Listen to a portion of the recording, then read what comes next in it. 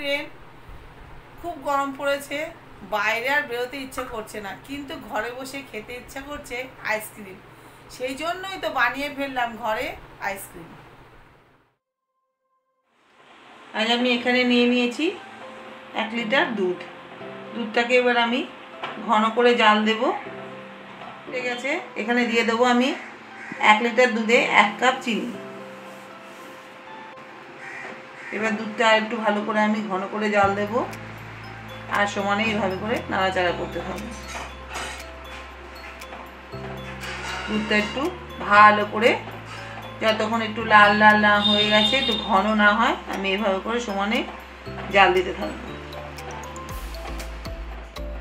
দুধটা ঘন করে অনেকটাই আমি জাল দিয়েছি। দেখুন কালারও চেঞ্জ হয়ে গেছে। এখানে নিয়ে নিয়েছি আমি এক চামচ ময়দা, এক কিলো দুধে নিয়ে নিয়েছি এক চামচ ময়দা। এটাকে আমি ঠান্ডা দুধ দিয়ে ভালো করে গুলে নেব। ময়দাটাকে আমি ভালো করে গুলে নিয়েছি। এবার আমি প্যাচেলার দিয়ে নাড়বো আর আস্তে আস্তে করে এটাকে দেবো। গ্যাসটা কিন্তু আমি লো ফ্লেমে করে দিয়েছি। আমি ভ্যানিলা এসেন্স, যেহেতু আমি ভ্যানিলা আইসক্রিম বানাবো, এই জন্য ভ্যানিলার ফ্লেভার হওয়ার জন্য আমি ভ্যানিলা এসেন্স নিয়ে নিয়েছি। আমি এক মুটকি দিয়ে দেবো ভ্যানিলা এসেন্স। ফ্লেভারটা ভালো হবে। আর একটু আমি ঘন করে এটাকে জাল দেব।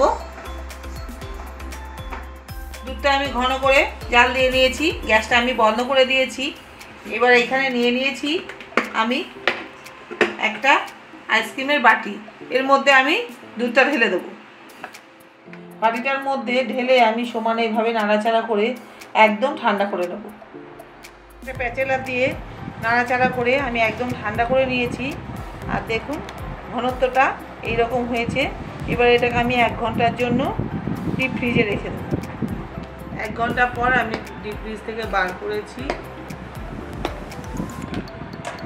দেখুন এই রকম জমেছে। এবার আমি একটা নিয়েছি বিটার। বিটার দিয়ে আমি এটাকে বিট করব। আমুলের ফ্রেশ ক্রিম এই ক্রিমটা আমি দিয়ে দেবো।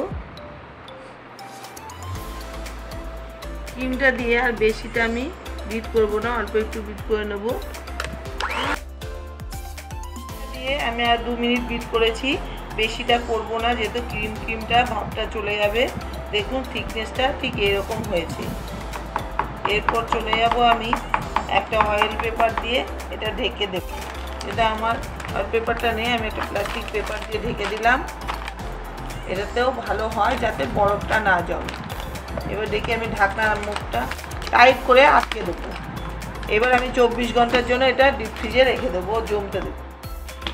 চব্বিশ ঘণ্টা পর আমি আইসক্রিমটা ডিপ ফ্রিজ থেকে বার করেছি এবার এটা আমি আনমোল্ড করব। এটা আমি আইসক্রিমটা কাটবো খুব সুন্দর করে দেখুন।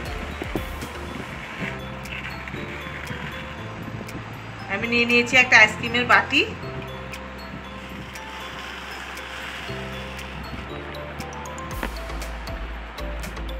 আইসক্রিমটা আমি বাইটটি দিয়ে কেটে দিয়েছি, এরপর আমি আর একটু টেস্টি হওয়ার জন্য দিয়ে দেবো একটু ড্রাই ফ্রুট কাজু কিশমিশ এটা অপশনাল আপনারা চাইলে দিতেও পারেন, নাও দিতে পারেন।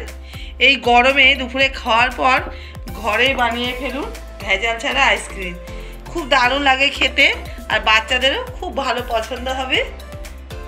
এই রকম ভালো ভালো রেসিপি পাওয়ার জন্য অবশ্যই আমাদের চ্যানেলটাকে সাবস্ক্রাইব করবেন এবং লাইক কমেন্ট শেয়ার করতে একদম ভুলবেন না।